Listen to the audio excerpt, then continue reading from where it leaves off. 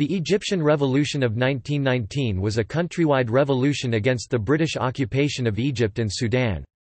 It was carried out by Egyptians from different walks of life in the wake of the British-ordered exile of the revolutionary Egyptian nationalist leader Saad Zaghloul, and other members of the WAFD party in 1919. The revolution led to Great Britain's later recognition of Egyptian independence in 1922 as the Kingdom of Egypt, and the implementation of a new constitution in 1923.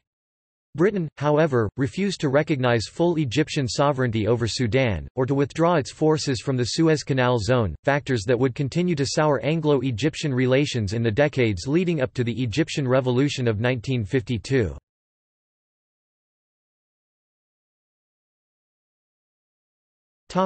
Background Although Turkey retained nominal sovereignty over Egypt, the political connection between the two countries was largely severed by the earlier seizure of power by Muhammad Ali in 1805, and reinforced by the later increasing British influence and occupation of Egypt in 1882.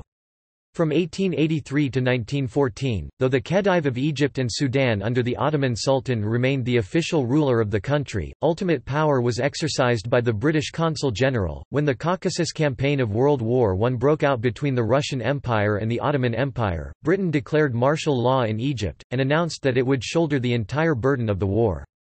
On 14 December 1914, the Khedivate of Egypt was elevated to a separate level of sultanate, and declared as a British protectorate, thus terminating definitively the legal fiction of Ottoman sovereignty over its province of Egypt.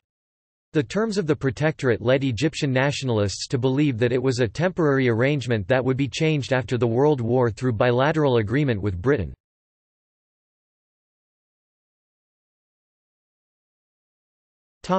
Causes Prior to the World War, nationalist agitation was limited to the educated elite. Over the course of the war however, dissatisfaction with the British occupation spread amongst all classes of the population. This was the result of Egypt's increasing involvement in the war, despite Britain's promise to shoulder the entire burden of the war. During the war, the British poured masses of foreign troops into Egypt, conscripted over one and a half million Egyptians into the labor corps, and requisitioned buildings, crops, and animals for the use of the army. In addition, because of Allied promises during the war such as American President Woodrow Wilson's 14 points, Egyptian political classes prepared for self-government. By war's end the Egyptian people demanded their independence.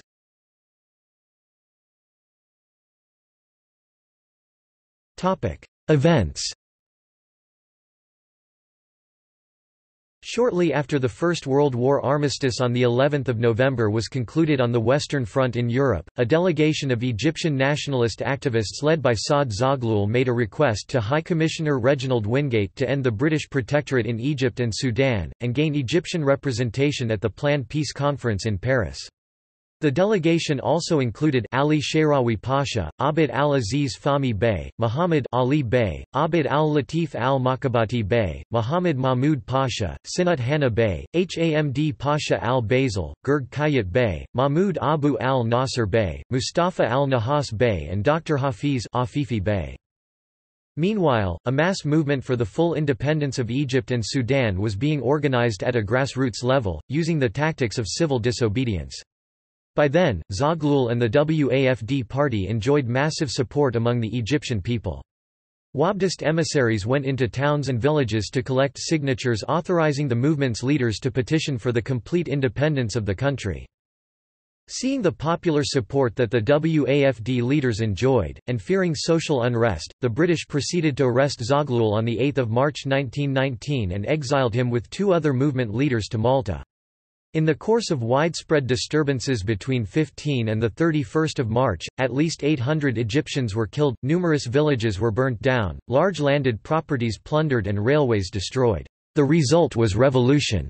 According to noted professor of Egyptian history James Jankowski, for several weeks until April, demonstrations and strikes across Egypt by students, elite, civil servants, merchants, peasants, workers, and religious leaders became such a daily occurrence that normal life was brought to a halt. This mass movement was characterized by the participation of both men and women, and by spanning the religious divide between Muslim and Christian Egyptians the uprising in the Egyptian countryside was more violent, involving attacks on British military installations, civilian facilities and personnel. By 25 July 1919, 800 Egyptians were dead, and 1,600 others were wounded. The British government under Prime Minister David Lloyd George sent a commission of inquiry, known as the Milner Mission to Egypt in December 1919, to determine the causes of the disorder, and to make a recommendation about the political future of the country. Alfred Milner, 1st Viscount Milner, Lord Milner's report to Lloyd George, the Cabinet and King George V, published in February 1921, recommended that the protectorate status of Egypt was not satisfactory and should be abandoned. The revolts forced London to later issue a unilateral declaration of Egyptian independence on the 22nd of February 1922.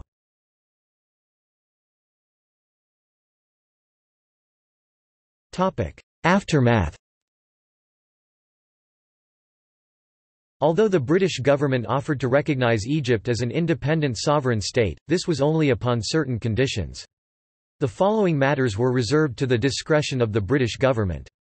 They were, the security of the communications of the British Empire in Egypt, the defence of Egypt against foreign aggression, and the protection of foreign interests in Egypt and the Sudan. The WAFD party drafted a new constitution in 1923 based on a parliamentary representative system. Egyptian independence at this stage was nominal, as British forces continued to be physically present on Egyptian soil.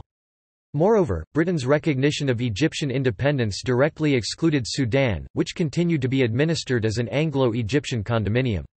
Saad Zaghloul became the first popularly elected Prime Minister of Egypt in 1924.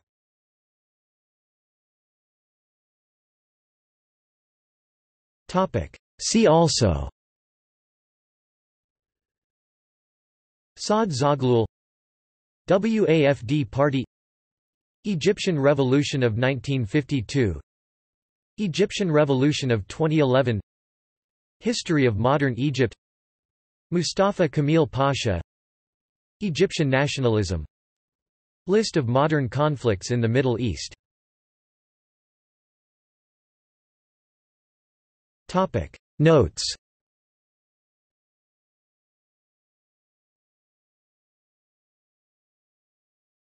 Topic Further reading Daly, M. W. 1988. The British Occupation, 1882–1922. Cambridge Histories Online, Cambridge University Press. Fahmy, Ziad 2011. Ordinary Egyptians, Creating the Modern Nation Through Popular Culture. Stanford University Press. Goldberg, Ellis 1992. Peasants in Revolt, Egypt 1919. International Journal of Middle East Studies 24, No. 2. Jankowski, James 2000. Egypt, A Short History. Oxford, One World Publications. Valentine, Chirol 1922.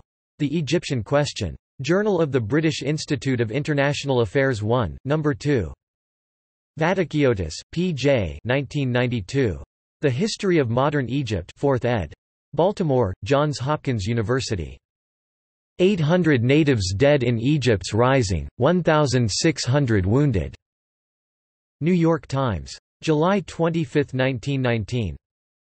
Qureshi, Zahir Masood 1967. Liberal Nationalism in Egypt, Rise and Fall of the WAFD Party. Kitab Mahal Private Limited.